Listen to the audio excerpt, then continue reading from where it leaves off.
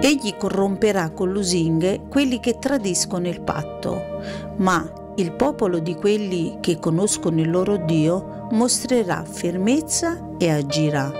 Daniele capitolo 11 versetto 32. Le lusinghe.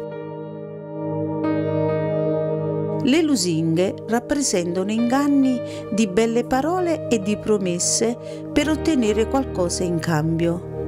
Il diavolo utilizza molto bene quest'arma Egli vuole convincerci che siamo bravi, buoni, capaci, ingegnosi, meritevoli e quant'altro fa leva sul nostro proprio io, sul nostro orgoglio personale.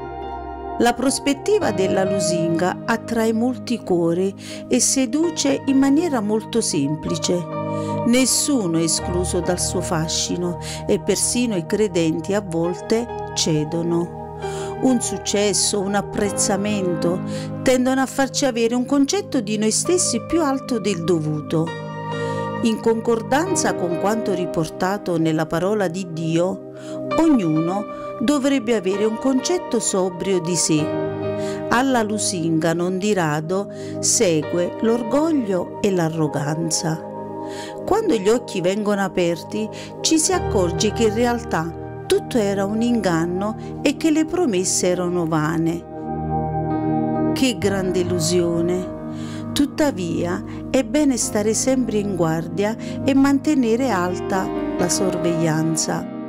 Soltanto la fede in Dio ci farà agire con fermezza, chiedendo in ogni cosa l'aiuto divino. Non cedere alla lusinga, godi pure dei tuoi successi, ma fallo nel rispetto della parola di Dio, non cedendo ad essi il posto che spetta esclusivamente al tuo Signore.